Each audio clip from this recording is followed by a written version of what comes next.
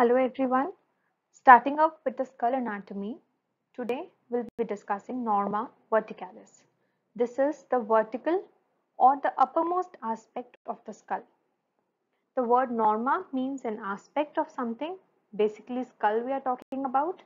Which aspect we are discussing? Vertical aspect. So norma verticalis. So let's begin.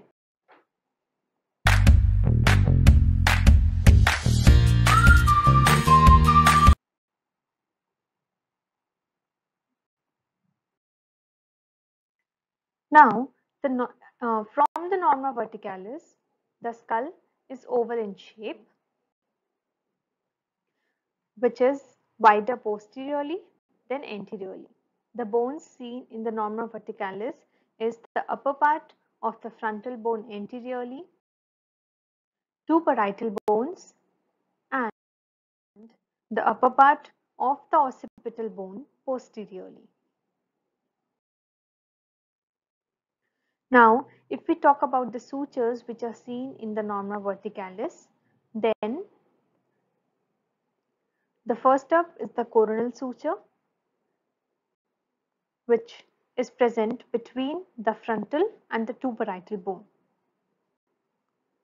This crosses the cranial vault from side to side and runs downwards and forwards.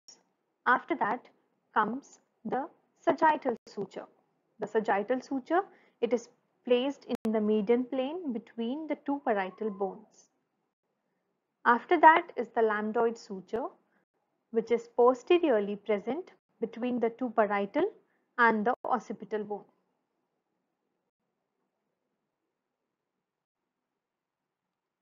Then parietal tuber or the eminence is seen in the verticalis, which is the area of maximum convexity of the parietal bone and this is the most common site for skull fracture. After that, two parietal foramens are seen on each of the on each of the parietal bone. They are present just adjacent to the sagittal suture. Emissary vein passes through the parietal foramen and this is the valveless vein which connects the extracranial vein to the intracranial veins. A point on the sagittal suture just medial to the parietal foramen considered as a representative of the third eye is obelion. The highest point on the sagittal suture is known as vertex.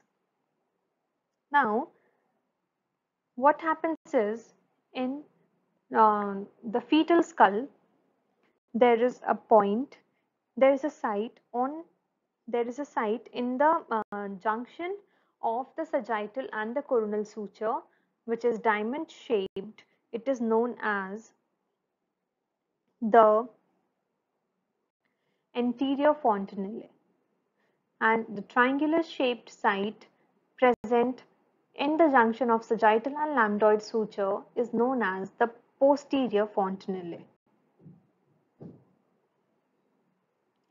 The posterior fontanelle closes at birth to 2 to 3 months of age. It is triangular in shape, whereas the anterior fontanelle being diamond in shape, it is it closes at 16 at 18 to 24 months of age and it is required for the growth of the bone. Now this point after the closure